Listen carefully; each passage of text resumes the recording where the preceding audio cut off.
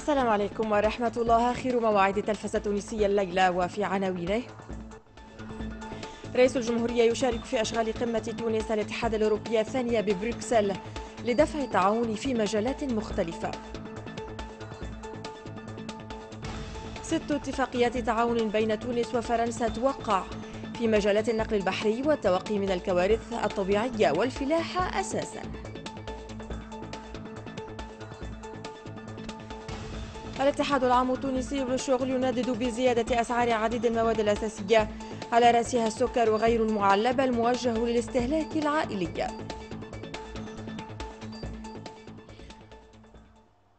أهلا بكم مشاهدينا الكرام. مجموعة أصدقاء تونس بالبرلمان الأوروبي مبادرة دعم ومساندة. أحدثها البرلمان الأوروبي وأعلنها الخميس في أول أيام زيارة الرئيس قيس سعيد إلى العاصمة البلجيكية لحضور قمة تونس الاتحاد الأوروبي الثانية ببروكسل. قمة تروم تعزيز علاقات الطرفين الاقتصادية خصوصا في قطاعات الاقتصاد الأخضر والطاقات المتجددة والتشغيل والبحث العلمي والتكنولوجي. إثر حلوله بمطار بلاغ ببروكسل حيث كان في استقباله وفد دبلوماسي رفيع المستوى. التقى رئيس الجمهورية قيس سعيد في مفتتح زيارته إلى بلجيكيا العاهلة البلجيكية الملك فيليب بالقصر الملكي ببروكسل. وتناول اللقاء العلاقات المتميزة التي تجمع البلدين الصديقين وسبل تعزيزها في جميع المجالات. وبمقر سفارة تونس ببروكسل حضر الرئيس قيس سعيد حفل استقبال بمناسبة زيارته الرسمية أشرف خلاله على تركيز مجموعة أصدقاء تونس بالبرلمان الأوروبي بحضور عدد هام من النواب الأوروبيين الممثلين لمختلف الكتل السياسية. Un grand plaisir de pouvoir annoncer aujourd'hui officiellement la création d'un groupe d'amitié نعلن اليوم بكل سعادة عن إحداث مجموعة أصدقاء تونس بالبرلمان الأوروبي لمزيد دعم المبادرات المشتركة وتقريب ضفتي المتوسط وتسليط الضوء على أهمية المثال التونسي بعد عشر سنوات من ثورة الياسمين التي وضعت في البلاد أسس الديمقراطية التي يمكن أن تمثل نموذجا مستقبليا لجل البلدان العربية والإسلامية. Une vision de long terme pour tout le monde arabe, pour tout le monde musulman. وبين رئيس الدولة خلال الجلسة التي حضرها بالخصوص وزير الشؤون الخارجية والهجرة والتونسيين بالخارج عثمان الجرندي والوزيرة مديرة الديوان الرئاسي نادية عكاشة وسفير تونس ببروكسل نبيل عمار وكذلك أعضاء البعثة الدبلوماسية بين أهمية هذه المجموعة في ربط الصلة بين مؤسسات الاتحاد الأوروبي وتونس ودفع التعاون المشترك وتأتي زيارة رئيس الجمهورية إلى مؤسسات الاتحاد الأوروبي لتعميق الحوار السياسي مع الاتحاد الذي يمثل الشريك الاقتصادي الأول لتونس منذ أكثر من نصف قرن. وتمثل هذه الزيارة الأولى من نوعها لرئيس دولة منذ سنة 16 2000 فرصة لأول مرة في تاريخ العلاقات بين تونس والاتحاد الأوروبي لإجراء محادثات على أرفع مستوى مع الرئاسات الثلاث لمؤسسات الاتحاد الأوروبي وهي المجلس والمفوضية والبرلمان. بما سيمكن من أعطاء دفع وخاصة على الصعيد المالي وكذلك لدعم الإصلاحات التي تقوم بها تونس من أجل دفع الاقتصاد الوطني. كما تتنزل هذه الزيارة في سياق بدأت فيه تونس مع الاتحاد الأوروبي العمل لتخطيط برنامج الشراكة الممتد بين سنتي 21 و2027 و2000 والذي من شأنه الاستجابة لمقتضيات الأولويات الاستراتيجية الجاري وضعها وتعتبر هذه الزيارة مناسبة هامة كذلك للتحاور حول الأولويات مع الرئاسات الثلاث بالاتحاد الأوروبي في إطار رؤية جديدة للعلاقات الثنائية من أجل شراكة تكون متجددة ومنسجمة مع التوجهات الاستراتيجية للجانبين والرهانات المستقبلية خاصة في ميادين الاقتصاد الأخضر والاقتصاد الرقمي وتحفيز الطاقات الشبابية وتشغيلها فضلا عن قطاعات التجديد التكنولوجي وكذلك البحث العلمي. تونس في قلب أوروبا اليوم من خلال مشاركة رئيس الدولة في النسخة الثانية من قمة تونس الاتحاد الأوروبي هنا في العاصمة بروكسل. العاصمة التي تضم أهم مؤسسات الاتحاد الأوروبي بما يعطي للشراكة بين الجانبين دفعا أكبر وأفاقا أرحب. للتلفزة الوطنية التونسية ناجح المساوي بروكسل. كذلك عقد رئيس الجمهورية بمقر سفارة تونس ببروكسل جلسة عمل مع رئيس البنك الأوروبي للاستثمار فارنر هوير. الذي جدد التعبير عن التزام المؤسسة المالية الأوروبية بمواصلة دعم تونس. رئيس الدولة بالمناسبة دعا مضيفه إلى مزيد تعزيز شراكة تونس والبنك الأوروبي للاستثمار ومساهمته في إنعاش الاقتصاد التونسي وفق صيغ وآليات مبتكرة ومعاضدة الجهد التونسي لمجابهة كوفيد-19 إضافة إلى تعزيز دور البنك في تطوير المؤسسات التربوية وتمويل المؤسسات الصغرى والمتوسطة. قيس سعيد عبر لفيرنر هوير عن تطلع تونس إلى مساهمة البنك في تمويل مشاريع كبرى منها مدينة الأغالب الصحية والقطار السريع. ليجدد المضيف التزام البنك الأوروبي للاستثمار بمواصلة دعم تونس وتمويل مشاريعها ذات الأولوية. تتويجا لأشغال دورة ثالثة للمجلس الأعلى للتعاون التونسي الفرنسي. مجموعة اتفاقيات ووثائق نوايا. تم توقيعها على يد رئيس الحكومة هشام المشيشي والوزير الأول الفرنسي جون كاستكس تتعلق بقروض لفائدة تونس وخارطة طريق توضع بين الشريكين. تشمل أربعة محاور تهدف إلى تعزيز التعاون. تم اليوم توقيع اتفاقيتي قرضين سياديين واتفاقيتي شراكة وتعاون وأيضا وثيقتي إعلان نوايا بين تونس وفرنسا تخص مجالات النقل البحري والتوقي من الكوارث الطبيعية وتحلية مياه البحر والفلاحة فضلا عن التجارة والمجال الرقمي.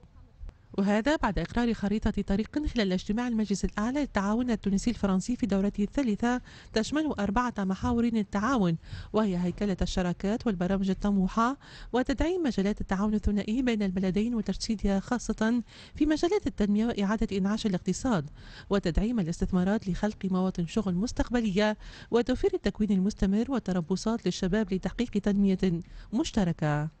وقد مثل هذا الاجتماع موعدا متجددا للوقوف على مدى التقدم الحاصل في تنفيذ المشاريع والبرامج المشتركة واعتماد الخطط الثنائية في كافة القطاعات ذات الأولوية واستكشاف الفرص المتاحة في المجال الاقتصادي والمالي والتعليم العالي والبحث العلمي والرقمنة والتربية والتكوين المهني وفتح آفاق أرحب لعلاقاتنا التاريخية الاجتماع بحث في سبل التعاون الممكنة بين البلدين في مسعى لدفع التنمية وبرنامج الإصلاحات التي تنكب عليها الحكومة التونسية. أعدت التأكيد على دعمنا الكامل للإصلاحات الاقتصادية التي بدأت بها السلطات التونسية والتي يجب أن تتجسد بأسرع ما يمكن.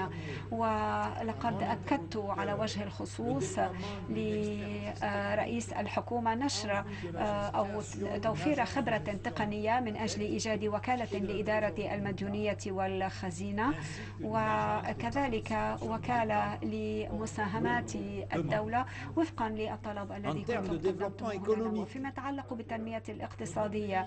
إن البلدين سوف يعمقا شراكتهما خاصة في المجال الرقمي. أود الإشادة بدعم فرنسا لمخطط الإصلاحات الكبرى التي تعتزم الحكومة التونسية إطلاقه ووقوفها إلى جانب بلادنا في مفاوضاتها مع صندوق النقد الدولي والمؤسسات الأوروبية لحشد الموارد الضرورية لتنفيذ الإصلاحات المذكورة خاصة في هذه المرحلة الأخيرة من البرمجة متعددة السنوات وتحديد أولويات الشراكة بين تونس والاتحاد الأوروبي للفترة 2021-2027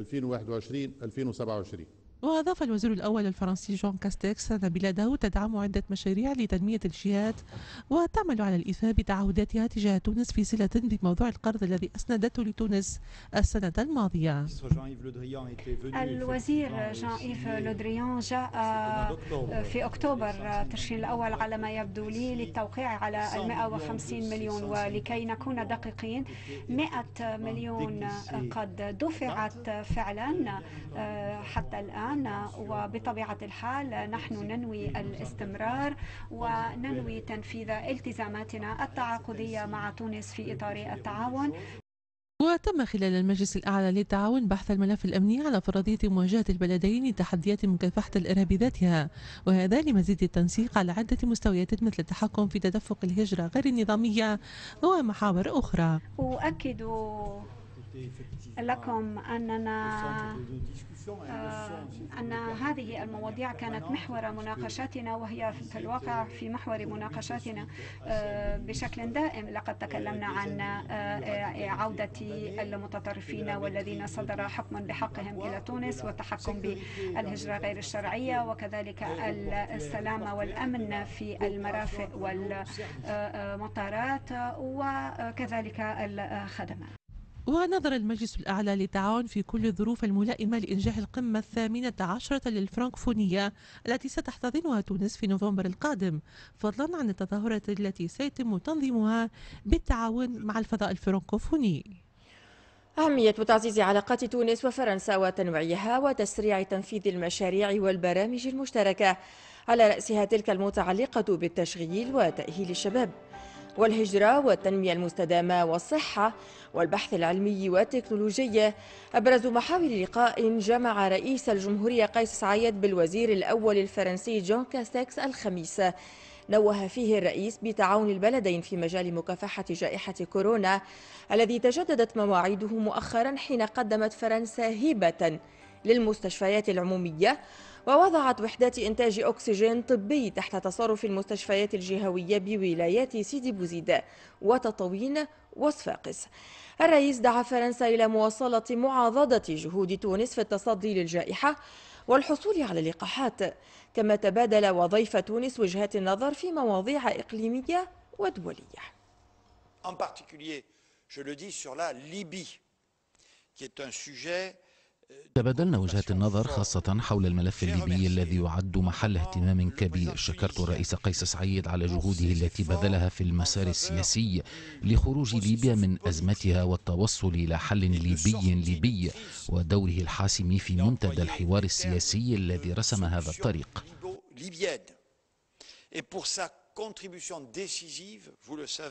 au forum de dialogue politique qui en a tracé la voie. تقدير دعم فرنسا تونس ومساندتها مسارها الانتقالي. أهم ما عبر عنه رئيس مجلس نواب الشعب رشد الغنوشي وهو يلتقي الخميس وفدا برلمانيا فرنسيا. ضرورة مزيد دفع التعاون الثنائي خصوصا في قضايا الهجرة ومكافحة الإرهاب. مسألة أخرى وقف عندها الغنوشي فيما أكد أعضاء الوفد البرلماني الفرنسي اهتمام المؤسسة التشريعية الفرنسية بمزيد توطيد العلاقات مع مجلس نواب الشعب التونسي. وتكثيف لقاءات تبادل الخبرات أساسا في مستوى مجموعات الصداقة البرلمانية. الوزير الأول الفرنسي جون كاستكس أعلن وهو يغادر التراب التونسي عن هبة بلاده لتونس ووضعها ثلاث وحدات إنتاج أكسجين طبي على ذمة ثلاثة مستشفيات جهوية هي مشافي صفاقس وسيدي بوزيد وتطاوين. مع توفير مستلزمات طبية وأقنعة واقية وأجهزة تنفس اصطناعي والكل بقيمة ثلاثة ملايين يورو.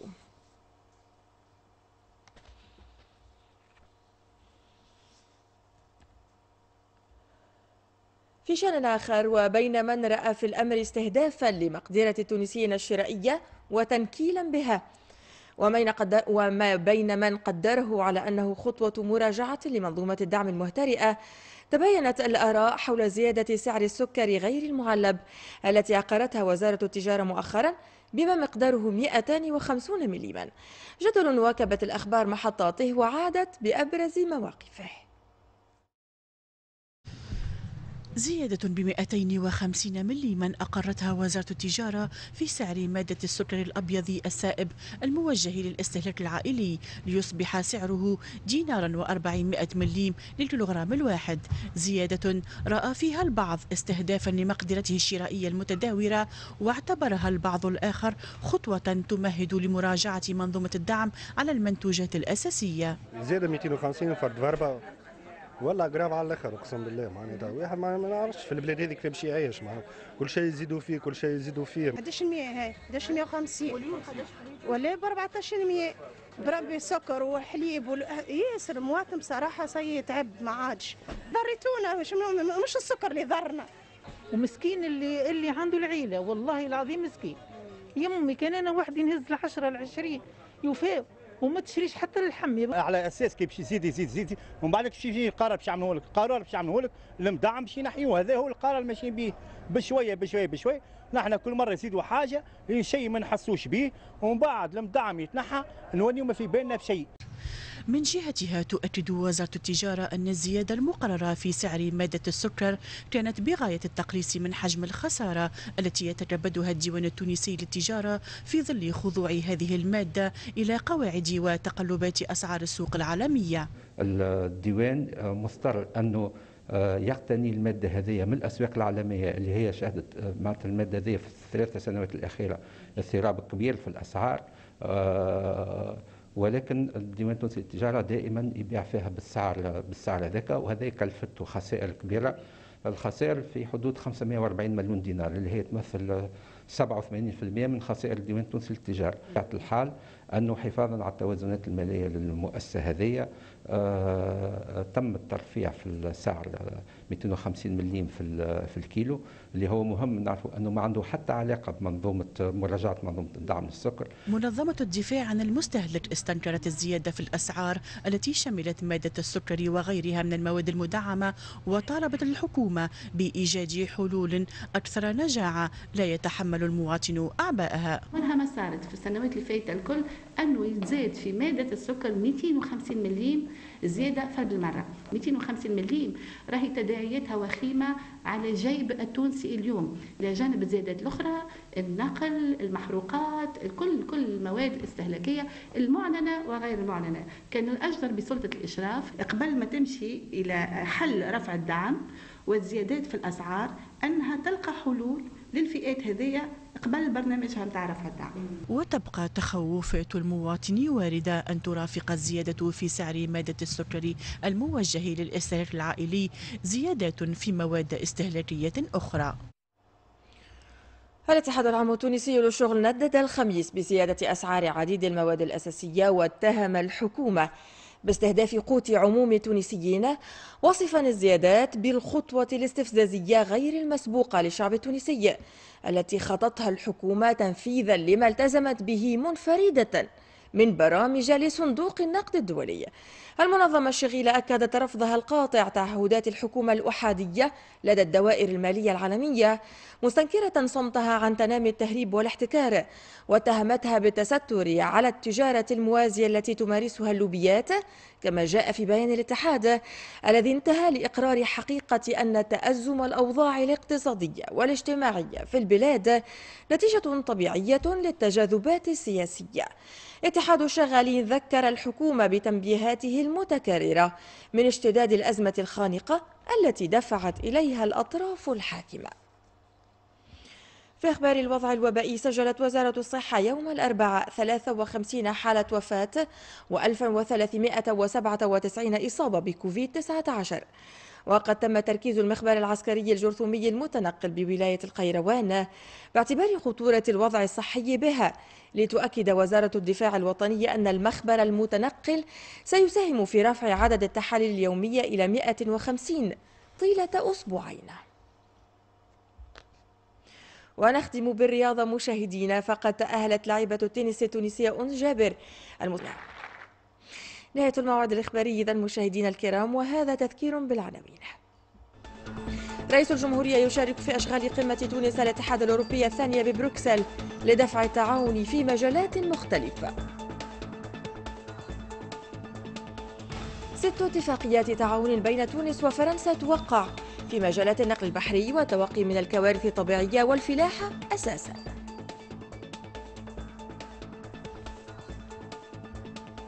الاتحاد العام التونسي للشغل يندد بزيادة أسعار عديد المواد الأساسية على رأسها السكر غير المعلب الموجه للاستهلاك العائلي. جديد أخبارنا تواكبونه دوما عبر قناة يوتيوب وطنية Replay والموقع الرسمي الخاصين بالتلفزة التونسية بيت التونسيين نوما هادئا.